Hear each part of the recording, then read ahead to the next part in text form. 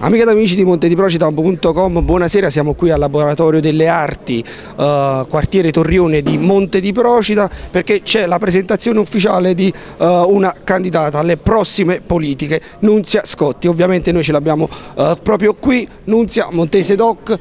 il perché di questa scelta da parte di un giovane. Allora sì, salve a tutti. In effetti sì, questa sera abbiamo un importante incontro di campagna elettorale, oltre a me ci saranno altri due illustri di FLI che sono l'onorevole Bocchino e l'onorevole Muro. Ho ricevuto questa grande opportunità, questa proposta di candidatura che è stata un po' inaspettata nonostante io avessi frequentato già eh, per parecchio tempo il coordinamento provinciale e regionale lì a Napoli, però mi hanno onorato diciamo, di questa opportunità e io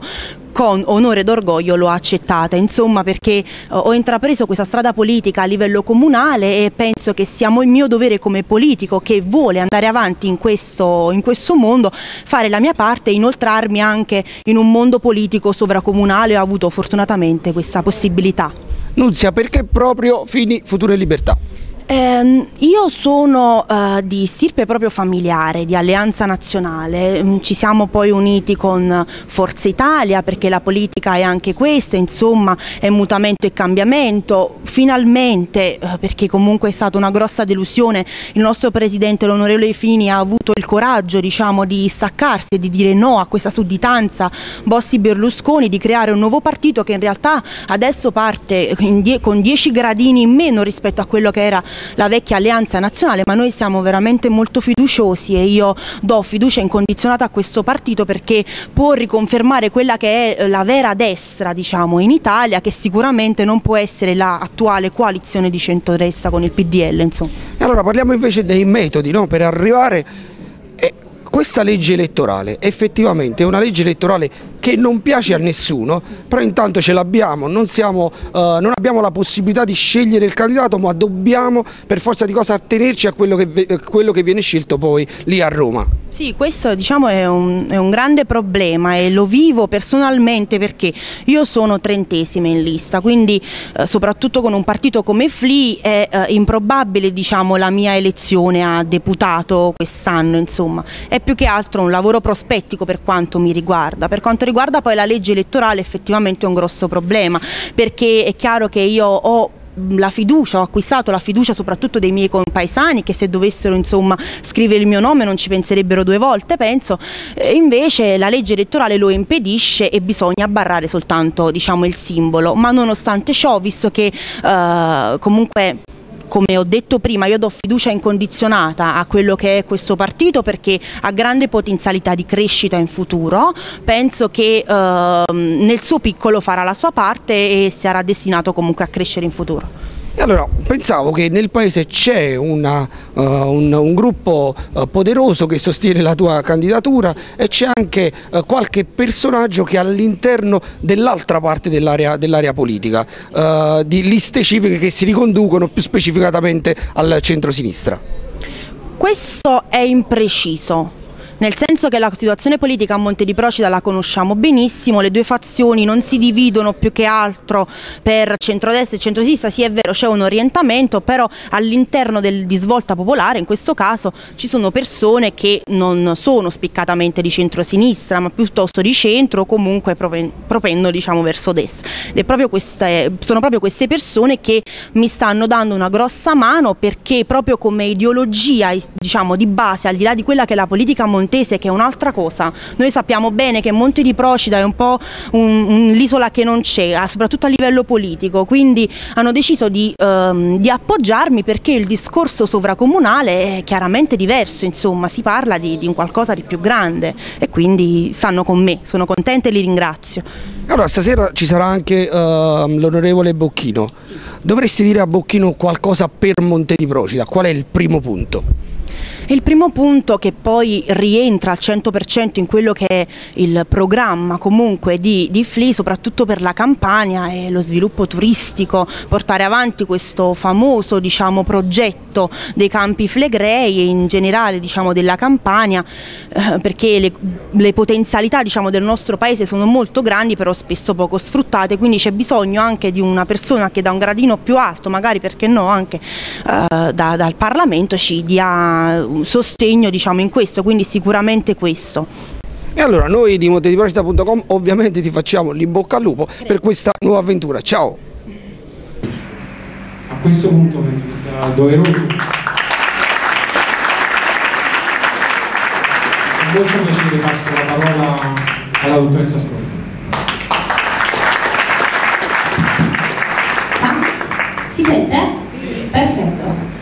Ok, buonasera, volevo rinnovare di nuovo i ringraziamenti a voi per essere qui e soprattutto agli onorevoli Muro e Bocchino per essere qui in, questa, in questo importante incontro di campagna elettorale che è un incontro di campagna elettorale particolare perché i cittadini si ritrovano a dover prendere delle decisioni, a fare una scelta per la quale sono visibilmente confusi. Eh, mi capita, come ha detto prima Gianluigi, di sentire magari nelle chiacchiere informali con amici io non vado a votare, tuttavia l'articolo 48 della Costituzione parla chiaro, dice che il diritto di voto è un dovere eh, civico, quindi l'astensionismo poi soprattutto in questo periodo così critico sarebbe il colpo di grazia ad un'Italia che già zoppica. Quindi come um, scegliere? Cioè quali sono i punti che ci possono far propendere più per un partito piuttosto che per un altro? Vi do la mia opinione, in effetti è lo stesso ragionamento che ho fatto quando ho accettato questa candidatura con orgoglio, insomma, eh, sono principi che si riconducono alla normalità, a quello che dovrebbe essere la normalità che oggi in questa parola normalità è un po' travisata, spesso non si capisce cos'è la normalità. Bisogna dare fiducia ad un partito che ha degli obiettivi prospettici per il futuro, un partito che eh, vuole riconfermare degli ideali politici forti, un partito formato da gente con un po' di competenza. Voi adesso vi starete chiedendo, per stare lì seduti in queste belle poltrone comode c'è bisogno di competenza, perché poi spesso in televisione noi stiamo a guardare delle scene pietose, addirittura chi dorme, chi gioca, chi fa, e quindi ci viene un po' da chiederci ma c'è bisogno di una competenza? Eh sì, in realtà sì, ci vorrebbe, perché quando si va lì a governare c'è bisogno di sapere di cosa si sta parlando, c'è bisogno di avere degli strumenti, perché eh, si è a capo di, di un paese, insomma. C'è bisogno di un partito fatto da persone oneste e un partito che ha anche la forza di prendere delle decisioni, quelle decisioni che non sono per eh, arruffianarsi diciamo, l'opinione pubblica, ma sono quelle decisioni che servono per il paese. Fatto questo elenco piccolissimo di cose che sembrerebbero normali, scatta poi il confronto con quello che è lo scenario politico di oggi, che ci troviamo a guardare di fronte eh, in procinto appunto di queste elezioni e scatta di conseguenza una selezione, perché coalizione di centrodestra, PDL, Grande Sud, Lega Nord, Grande, Grande Sud, Lega Nord e Fratelli d'Italia. Non corrisponde a nessuno dei quattro punti che ho elencato, basti pensare alla lista Campania 1 di PDL per la quale non ho bisogno di aggiungere altro. PD. Il PD ehm, decanta tanto queste liste pulite, questa legalità, questo principio di legalità, ma dobbiamo sapere tutti che eh, nelle file nazionali il PD conta ben 12 persone che sono seguite eh, quindi tenute sott'occhio dalla magistratura. Inoltre dobbiamo dire che il PD, soprattutto in Campania 1, ha puntato su tutto tranne sul campano. Sì, perché in effetti, forse per molti non è chiaro, ad esempio, faccio un esempio, la Campania è divisa in Campania 1 e Campania 2. Noi siamo Campania 1, andiamo a votare, mettiamo la X sul partito e stiamo dando la preferenza ad un partito, giusto? Tuttavia, noi stiamo dando la possibilità a quelli della fila di Campania 1, ad esempio del PD, di andare a governare, giusto? Se il PD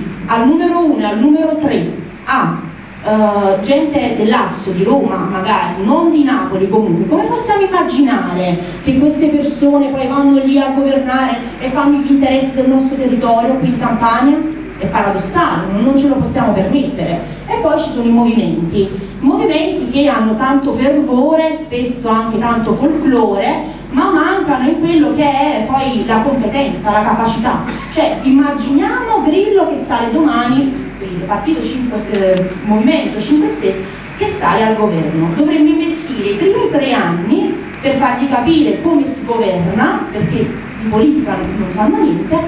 sperando che capiscano e poi dopo magari 3-4 anni iniziare quello che potrebbe essere un discorso. L'Italia al momento non se lo può permettere, quindi dobbiamo prendere una decisione ma eh, scegliamo insomma con cognizione di causa. Poi faccio un passo indietro, molti di voi magari si staranno chiedendo come mai ci sono io su questo palco, una 25enne, eh, perché candidata lei insomma? Certo, sembrerebbe impossibile che una 25enne che viene da un paesino di provincia sia candidata alla Camera dei Deputati. E invece no, perché basta mostrare il proprio interesse, mostrare le proprie capacità e metterci la faccia e poi le cose vengono più semplici di quello che pensiamo, senza nessun complotto dietro, senza nessuna bega, senza nessun se o ma, insomma. Eh, quindi le motivazioni sono ricondotte mh, a, a ci sono tante motivazioni, però secondo me quella principale è quella che anche i grandi della politica italiana hanno capito che siamo arrivati ad un punto talmente cruciale della storia politica italiana, per cui se non si fa veramente qualcosa altro che ragionamenti tipo poltrone, vitalizi, potere, non ce n'è più per nessuno, qua andiamo eh, in una situazione di default, di rivoluzione, magari ci ritroveremo con una forma di governo anarchica, tribale, magari, perché la gente è stanca, la gente non ce la fa più, quindi di conseguenza dà credibilità, dà fiducia ad un movimento come, come Grillo, per esempio, come Movimento 5 Stelle perché è stanco, è disperato però se speriamo nella nascita di una terza repubblica italiana mettendoci nelle mani di un movimento parapolitico, para-rivoluzionario, para un po' tutto, eh, allora ci rendiamo conto che siamo di fronte a un grosso problema. Insomma. Adesso faccio um, un, passo indietro, uh, voglio dire che io sono partita da una politica comunale, qui a Monte di Procida ho cercato di creare un po' di aggregazione giovanile con non poche difficoltà, spero in parte di esserci riuscita insomma, cioè in effetti ho cercato di fare una piccola parte. Un amico un giorno mi ha fatto ascoltare una canzone, io nei miei discorsi tento sempre di fare un parallelo con la musica perché per i giovani è molto più comprensibile insomma la canzone degli After Hours si chiama Il Paese Reale. La frase più significativa dice adesso fa qualcosa che serva perché anche per te che il tuo paese è una merda. Scusate, qua ci vorrebbe un grande bip, però ci stava tutto insomma. Io penso che noi ragazzi dobbiamo fare delle scelte oculate oggi, perché domani se non facciamo queste scelte oculate non possiamo permetterci di lamentarci, ognuno di noi dovrebbe fare un minimo per cercare di migliorare le cose e io con questa diciamo intrapreso questo mondo della politica sovracomunale anche per cercare di fare la mia parte, penso che questa sia la mia parte insomma. Quindi ognuno di noi deve cercare di prendere una decisione cosciente oggi per ritrovarci un domani ad essere tranquilli senza doversi lamentare insomma. Uh, ipotizziamo la nascita di una terza repubblica, l'ho detto anche prima, uh, speriamo che questa terza repubblica che non nasce con questa proliferazione dei movimenti, speriamo in maniera diversa, uh, sia un attimo più vicina ai cittadini, cioè c'è bisogno di un riavvicinamento tra eletto e elettore, cioè una classe dirigente che non sia al di sopra della popolazione, bensì che sia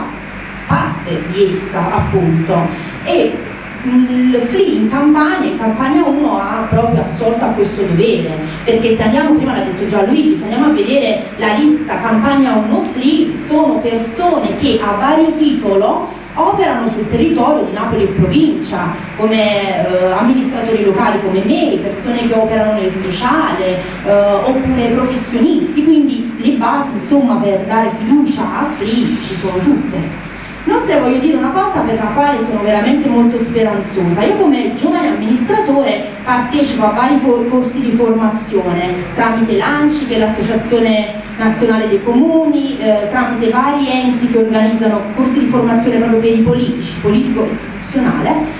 avendo la possibilità di confrontarmi a 360 gradi con i politici giovani di tutta Italia. Ci confrontiamo eh, a prescindere dalla regione di appartenenza e a prescindere dal colore politico. E la cosa che mi fa sperare è il fatto che tutti quanti hanno voglia di eh, rinnovare questa classe politica che di fatto quella vecchia fa una politica che è un po' eh, anacronistica, cioè quindi si rivolge un pochettino al passato, adesso ci dobbiamo rivolgere al futuro. E questi nuovi politici hanno idee pulite, hanno idee veramente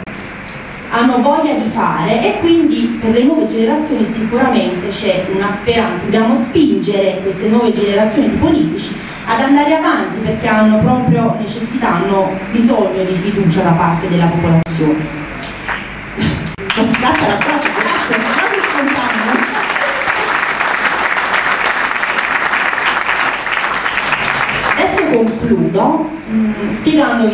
Perché secondo me bisogna votare Free io ho avuto la possibilità di frequentare eh, anche diciamo, in passato ehm, il coordinamento provinciale, il coordinamento regionale del, del FLI. Ho conosciuto persone meravigliose e ringrazio anche qui ci sono due candidate, Emilia e Nadia, qui nella prima fila che veramente abbiamo creato un gruppo, sono persone solidali, sono persone veramente compatte, vogliono lavorare e si impegnano, per cui proprio a livello personale io ho capito che sono persone che eh, hanno proprio voglia di fare, bisogna dare fiducia a questo gruppo che secondo me ha eh, tanto da, da dire e da dare. E poi vorrei un attimo fare un passo un po' più in alto, sì perché eh, io penso che anche i vertici diciamo, di questo partito meritino moltissimo la nostra stima e la nostra fiducia, al di là diciamo, del rapporto che io ho con Italo e con Luigi, Luigi Pennano e noi oggi, io personalmente spero anche voi, sono pronta a dare fiducia incondizionata a questo partito e spero che un domani eh, riesca a far rivalere che è, quello che è il concetto della destra italiana, penso che la prima volta che mi ha conosciuto ero mm, piccolissima, penso proprio in fasce, almeno 12 anni fa, insomma, quindi al di là della stima personale che mh, io nutro nei confronti di queste persone, io penso che anche politicamente possiamo affidarci a loro. Per quanto riguarda poi il presidente, l'onorevole Gianfranco Fini, è una persona che merita tutta la mia stima perché è riuscita a dire no a Berlusconi, è riuscita a dire no a, uh, al berlusconismo, a uh, svincolarsi da questo...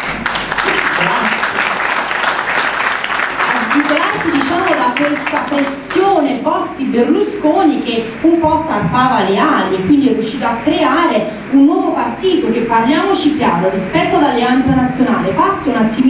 10 gradini più giù perché purtroppo la politica è anche questo però siamo pronti a ripartire perché come mh, proprio sangue noi come famiglia siamo di alleanza nazionale per cui io sono veramente fiduciosa che finalmente anche Fli possa riconfermare quella che è la vera destra italiana. Cioè non possiamo dire che il PDL può rappresentare una destra in Italia. Il nostro slogan elettorale come FLI è eh, merito, legalità e nazione. Secondo voi un personaggio come quello che può essere Berlusconi e il PDL può mai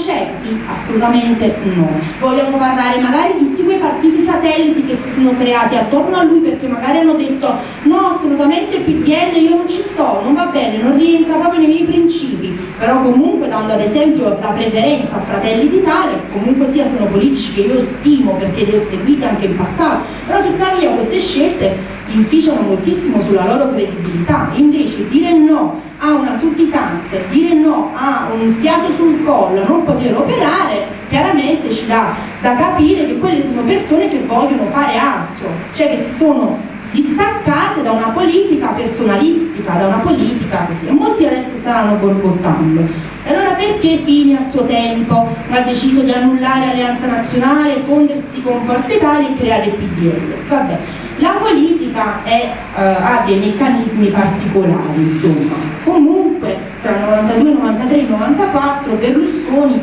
è stato diciamo, l'artefice della nascita della Seconda Repubblica, con la diffusione della Lega e dello scandalo Mani Pulite, quindi ha rappresentato comunque una svolta. Per cui è... Uh,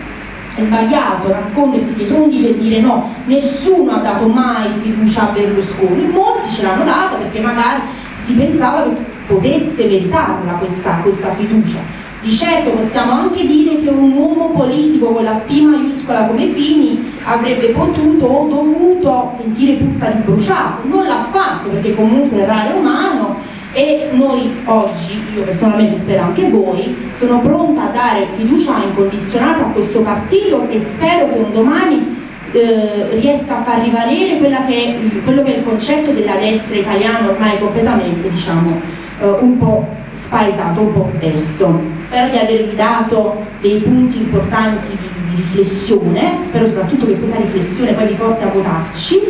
che questo è anche importante. Quindi il 24 e il 25 mi raccomando sulla scheda rosa, abbiamo anche dei facsimili qua sulla scheda rosa della Camera, basterà per votarci barrare il simbolo FLI, futuro e libertà. Vi ringrazio.